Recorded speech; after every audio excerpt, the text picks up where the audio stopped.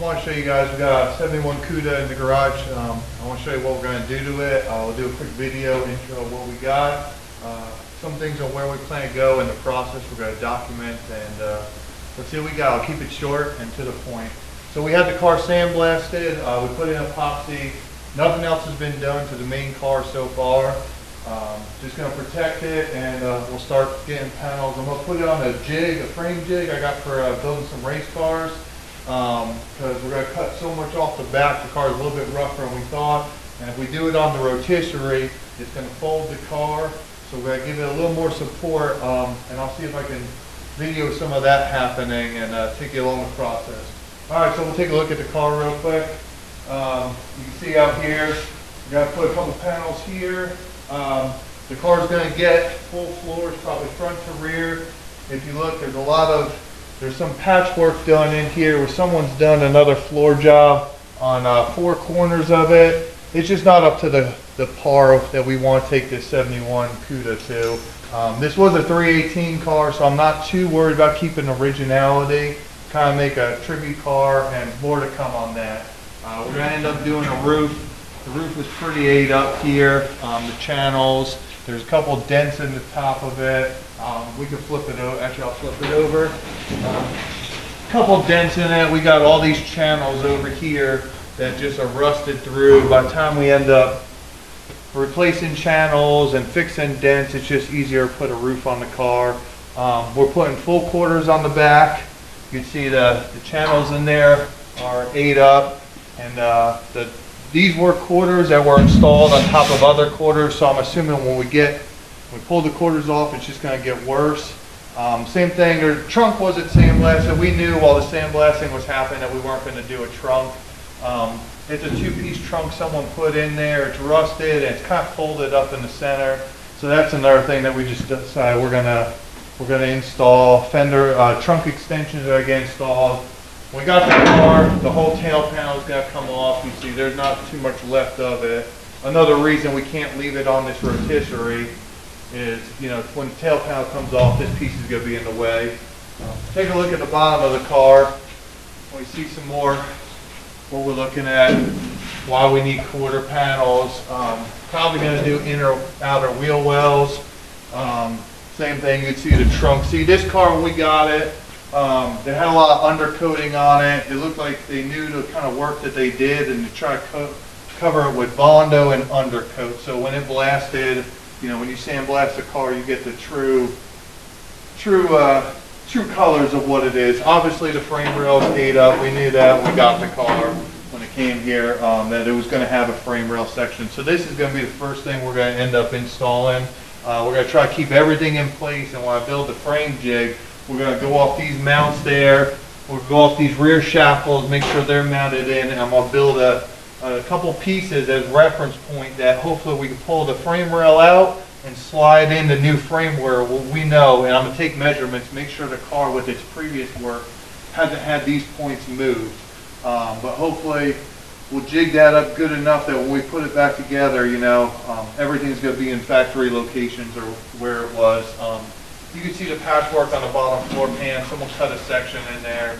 Um, between that and then the rust holes in it, the floor pan over there, every corner part of this floor pan just needs work. So it's just easier at this point to put a one piece in, do it right. It's going to look better and it's all said and done. Same thing with this piece. Just with all we're cutting out, it's going to be easier. Also, this floor pan, I don't know what they did you see, that one they did all right. This one, it looks like they kind of cut the floor pan and mismatched it.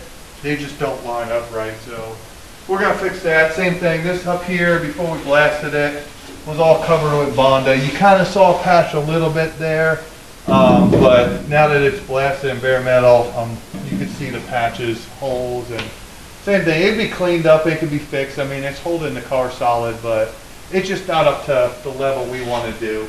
Um, the front clip is pretty stout, pretty strong. We got a couple spots we got to patch up. Um, I'll roll it over. You can see the cowl panels a little bit. So we'll put end up probably putting a cowl panel in it. Um, pretty poor up there. Same thing with the front. The lower cowl there, we'll we'll fix that. The firewall. Um, that's, that's all right, and I think the lower cowl under there looked good. It was just the upper that was really rough. Right here, that area, we'll patch those up, you know, same thing with the battery tray area. We got a couple, couple minor work things to do on it, but that's about the gist of the car. Um, here, we'll take a look at the doors.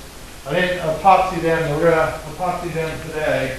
While we had it bare metal, the doors, they had uh, a bunch of dents on this whole area. And what I like to do, if I can, the car was a big project, but this one, I like to get the dents and the rough body work done before we epoxy it. And then I like to put my all, all metal, uh, which is on here, where most of the metal, all the metal, major metal work's done on the doors. And uh, all it's pulled out, and I skim coated it with the, the all metal, we'll epoxy it. And, uh, you know, it just, it, it, I think it adheres better to the bare metal, so that's why I do it that way. And I mean, it's just a rough body work. We'll have to go back through and once it's epoxied and then we put our filler primer, the high yield build primer, we're going to still have to block this whole door down. And especially down here on this edge right here, uh, the sandblaster went a little bit, a little bit heavy on it. I banged most of it out and got most of it straight, but I can see there's still some more rough body work to get in there. Um, but I don't want to go too crazy with it because if we got to weld up the gaps or the gaps don't fit right, then I'm going to put heat in this area. We'll have to go back through and fix it anyway. So as of right now, the doors are, are done for what it is. And, uh, you know, I got, like I said, there's a couple dents there. And on this door, this door was mostly, if you look right here, just the pit holes in the rust that um, just kind of were seeping through and the blaster showed up. It pulled the rust out of it, so I like to get them filled in. And then down here, we got a patch, you know, about that big that we did and rebuilt the corner of the door. So next time you see these doors, they should be an epoxy coat um, and it should match the car. And yeah, well, next step will be we'll put it on the jig and uh, maybe get some video of that. I'll walk you through the what I'm doing on the jig. I got the jig under the car. Um, it's pretty much centered. I spent a little bit of time doing that. Um, and, you know, now I'm just double checking and fine tuning my adjustments. Uh, forward to back, side to side, I'm dropping a plumb blob off uh, the suspension points on the driver side, passenger side, corresponding points that should be straight and equal. Um, and just verifying my measurements. That's the easiest way to center this car. It doesn't have to be exactly centered, but to me, it's a lot easier to center the car, make sure it's square, and uh, just if I do have to do any major changes or pulling on the car or anything else, I know I have good reference points. Well, this side's this, or if I find a spot where the car might have been hit down the road, I could sit there and you know adjust it off the other side, assuming both sides are exactly the same. Same thing I'm doing in the back. There's a a little hole back there on both sides. I'm using as a reference point that I measured off the top and I, I pre-checked these holes to make the video not as long to know where I dropped my plumb blob went back and forth. I'm also checking with the level at the same time just to verify I didn't move anything. So that's my mark on the the driver side where I'm coming back on the passenger side dropping that same plumb blob down and uh, if you can see it's real quick. I know it's sped up. I've been tapping the legs to just adjust the jig back and forth a little bit. Um, Again, levels in the way, so I'm just moving that.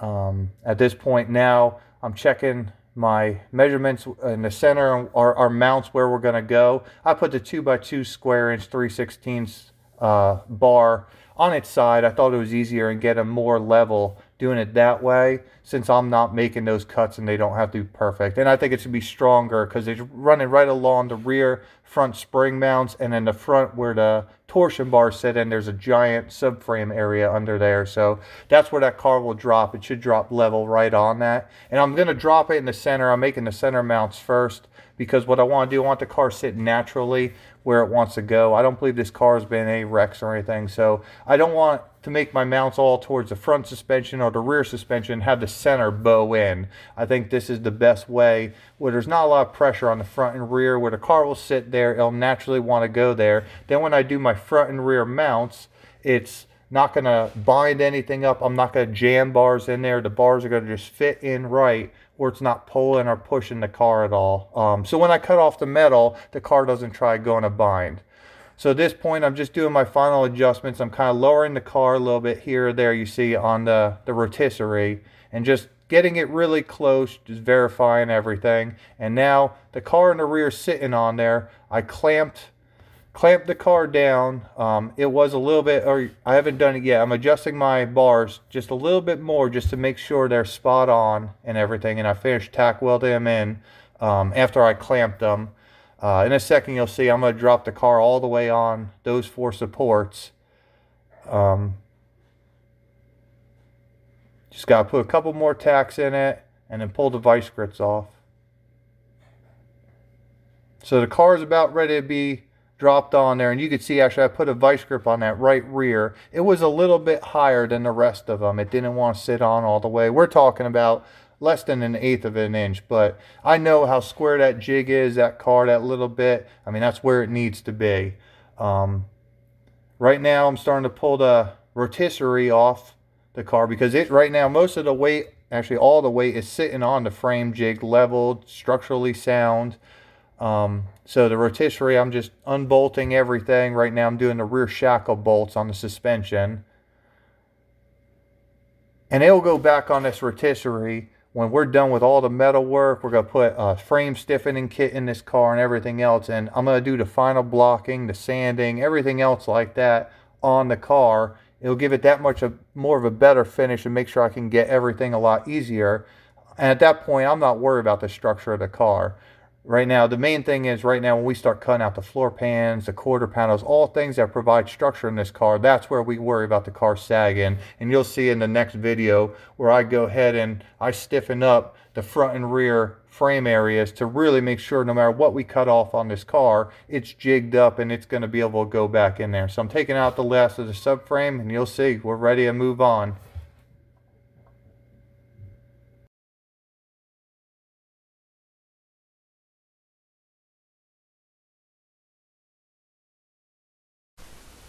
All right, so we got the Barracuda all welded up on frame jig. I'll do a quick walk around, show you what I got, um, and we'll take it from there. I think I overkilled it, as you can see, but I don't want to move. I got the front clip right there, supported on both sides. 3 16 I think uh, 8 inch I-beam, cross beams, and then I got trailer jacks on it to go up and down to level it so I can adjust at the height I want. The car is just tacked on there where the rest of the pieces are welded. Um, it's just enough tacks that they'll hold and I'll be able to cut the car off without damaging the frame or anything at that point. Um, it won't let the car move those, what, six tacks on each frame rail and they're pretty solid ones. Front, back. I took the major parts of the car. I did the four in the center earlier in the video, let the car hang. I didn't push up or down on the front or rear of the car. Let it sit where it wanted to sit, and I'll double check all these measurements, and if I have to adjust something, I will, but I, I think it's going to be all right. We're just like I said. And this frame rail, I didn't weld anything up top. I'm basically used them as uh, stand reference points because the first thing we're going to do is take this frame rail out. So it bolts in the back on the shackle. And then, so that's welded. I'll unbolt that. And I'm going to end up cutting all this out. But up top, there's no welds on there. I'm going to make some marks and, know, and take some measurements, write it down underneath them, know exactly where that frame rail is going to sit. The center, the shock tower, that's staying. So I got two good mounts on that. And that's going to pretty much be the main support of the back of the car, along with that back area. Um, and then I just got those, so just as good guides where the car is going to come up.